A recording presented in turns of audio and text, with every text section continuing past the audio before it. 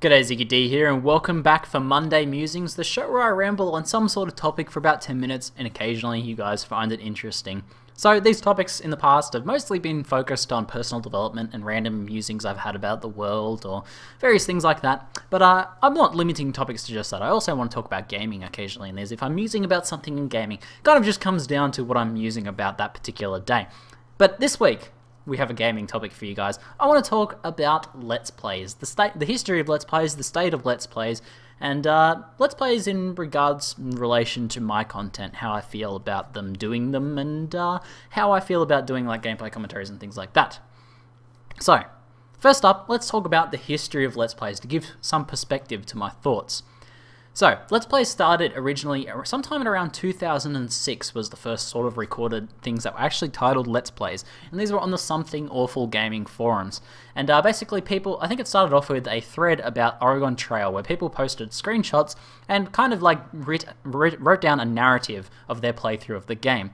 Now, this sort of spawned a bunch of threads like this, and uh, basically, people would provide either like a role play sort of narrative, like uh, talk about the game, playing through the game from their character's perspective, and would basically write a story based on their gameplay experiences. Off, you know, essentially what is a very simple game. Uh, or they they do games where they uh, did it kind of like a walkthrough, but very entertaining as well, more from the actual player's perspective. So uh, they, a few different things like that, a few different styles, but they kind of all were very uh, very high effort written content with um, screenshots and things like that. The first video Let's Plays came around in about 2007. I think it was by someone called something Beef. I can't remember. Slow Beef, I think it was. Slow Beef. But yeah, he made the first um, video Let's Plays. I think it was for Super Metroid. And uh, these are along the same sort of theme as the uh, screenshot one. They just started getting incorporated into the YouTube thing because YouTube was starting to become a little bit more accessible there. I think it was through YouTube he actually did. I don't actually know. But uh, yeah, but basically the first video ones there. So since then, uh, Let's Plays and uh, Let's Playing of video games, new release video games and stuff like that has become very popular, but it's kind of changed from that original conception idea. Uh, nowadays, I hate to say it, but most Let's Plays are very low effort sort of just playthroughs, generic playthroughs of new games, and uh, they get a lot of views off the fact that it's a new game that people want to see the game and see a playthrough of the game, decide whether they want to buy it or not, or maybe they just want to watch the playthrough of the game.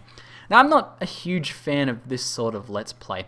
However, I do think the Let's Play format still has a lot of potential, and there are still some really good Let's Players out there, and there have been some really great Let's Plays in the past. The one that I really like to point people to, uh, to when I'm talking about good, high quality Let's Plays, what a Let's Play can really be, is uh, Chip Cheezum. Now, Chip Cheezum is not a major YouTuber, and most people who are fans of Let's Plays probably don't even have and never never seen Chip Cheezum's Let's Plays. But I still think they're some of the best Let's Plays, the best example of Let's Plays out there. In particular, the one I'd point out is his Let's Play of Metal Gear Solid, Metal Gear Solid Rising Revengeance, I believe it is. It was kind of the action game Metal Gear Solid, one that I never really played, but uh, it's one of the few Let's Plays that I've actually watched quite a bit of because I don't really watch that many Let's Plays myself. But uh, basically, it was him and a friend, and it was extremely entertaining. They commented, like they commentated the game as they played, as one of them played through. They talked about the game, and extremely, very highly entertaining, very funny guys talking together, constant commentary. Now, but in addition to that, and that's not all, it just wasn't about the entertainment, he was extremely good at the game, insanely good. He would get 100% all the way through, uh, get he'd know exactly how to get S rankings on every single mission, and also where all of the secret hidden things are, and even show off little extra hidden bonus Easter eggs and things like that. Now, the amount of work and effort that went into these Let's Plays that Chip Cheezum did, and this one in particular, the amount of editing and the amount of like game knowledge and practice and uh, even effort into the actual commentary itself is insane extremely high quality content. But uh, let, the Let's Play format is e very easy to adapt to a low effort sort of style of commentary. Basically, pick up any new game, uh, play it, just talk over the top of this, you know, the cutscenes a little bit, just kind of remark on things that are happening in the game, and uh, not really put that much effort into it, but it's still something that can be very popular because it's a new game. People want to see that sort of stuff. And I'm personally not much of a fan, as you can probably tell, of that style of Let's Plays. And I think that is generally what Let's Plays are seen to be now. I don't think many people think of Chip Cheezum's style of high effort, high quality commentary, transformative work guides slash walkthrough slash uh, entertaining, hilarious uh, Let's Play. I think they more think of what is the most popular Let's Plays on YouTube now, which are generally the very low effort ones of new games. And uh, that's sad because I think the Let's Play format did have a lot of potential and was really good to begin with, but it's something that has degraded seriously over time. So you'll never see me title my content, I think. You'll, I think you'll never see me do that. I think you'll never ever see me title my content as a Let's Play or do a Let's Play style uh, playthrough of a game. I don't know what I'm going to do in the future when it comes to when I'm streaming and I get a new sort of single player narrative driven game, whether I will stream that or whether I'll just play that separately by myself because I don't want to do a Let's Play style stream session even. But I'll definitely never put something like that on YouTube. However, I'm doing a Baldur's Gate commentary playthrough at the moment. How is that not the same thing? How is that not not a Let's Play? Let's reel things back a little bit and talk about the three different types of making legal video game content on YouTube. Because uh, from a technical standpoint, there's only certain things you can do. You can't just put up any video of a gaming gaming footage or something like that and uh, you know monetize it and earn a living off that sort of thing. Firstly, there is guides. There's things that instruct people on the use of a product. That's primarily what I make. I primarily make guides.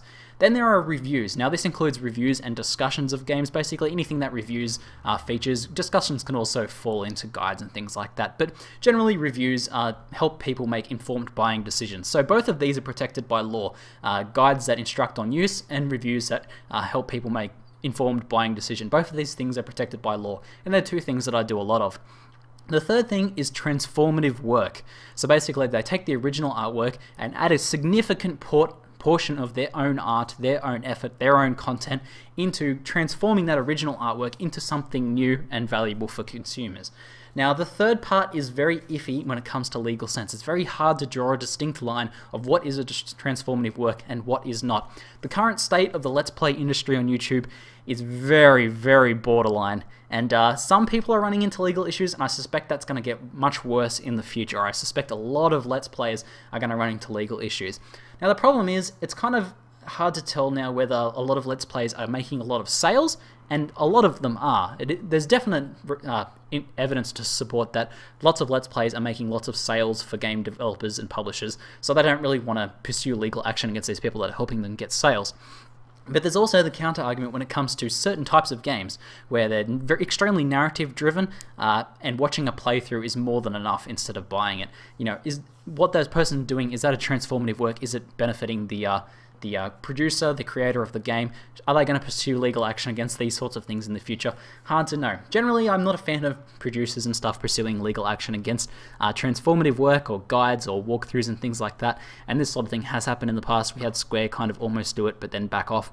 And uh, we've certainly had Nintendo do it in the past, and that's uh, that's always a shame to have good informative and uh, guides and things like that sort of content taken off YouTube when uh, you know it deserves to be there and is protected by law. But uh, I think we will see some stuff happen with Let's Plays in the future that is a bit borderline. But uh, yeah, so transformative work is, is the question. Is someone's just commentary and reactions and remarks to the game basically just like watching over someone's shoulder as they play a video game? Is that does that count as transformative work? And a lot of the time, I don't think so. I think you need to put a significant portion into that. So let's go back to my Baldur's Gate Let's Play, because that was, well, not Let's Play, played through commentary thing that I'm doing. I don't really know what to call it, but I'm trying not to call it a Let's Play. what? How is that different? How is that different? What am I doing? With the Baldur's Gate thing, I uh, picked out a game that I've never played before, so yes, I'm kind of going into a blind, which is generally one of the recipe, the ingredients in a recipe for a low effort, poor Let's Play, I think. But I'm trying to uh, infuse as much role playing, uh, thought, tactics, commentary, and uh, everything else I can into to make that a completely new work, a completely new experience for viewers. And so far, it's still something I'm a little bit unsure about in general. Doing just general gameplay commentary is uh, not my core. It's not my main niche, and it's also something I'm still a little bit unsure about in general. But based on the comments I've been getting about people who have played the game a lot and saying this is reinvoking a new sense of passion in them about the game or reinvoking new sense of awe because it is this transformative work, because it's something different. It's not just the game. They're not just watching the game again. They're watching something different, a new piece of artwork that's been created out of that game plus my commentary and all the effort I'm putting in. So that supports my theory that what I'm doing is good and not what the Let's Play industry has become now. And the other thing is new players that are coming to it and seeing this and then going out and buying the game, saying they're buying the game, and really enjoying the game and also really enjoying my commentary and saying things like, hey, you're really approaching this combat very tactically or you're doing a really good job role playing your character and stuff like that. Those two sorts of comments are really supporting what I think uh, what I think Let's Plays should be, but I'm still not going to call my content Let's Plays because I do think that this is alluding to the wrong sort of thing on YouTube now, the sort of content I don't want to make or don't really want to see that much.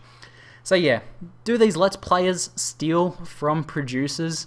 Uh, it's really, really hard to say because I think in general I really don't want uh, a lot of strong legal action to come against YouTubers in any form, but also I really want people to put effort into making very high quality commentaries and things like that. The problem is this is a very hard problem to solve because people want to view content for games. They want to view gameplay commentaries the minute a game comes out or even before if they can.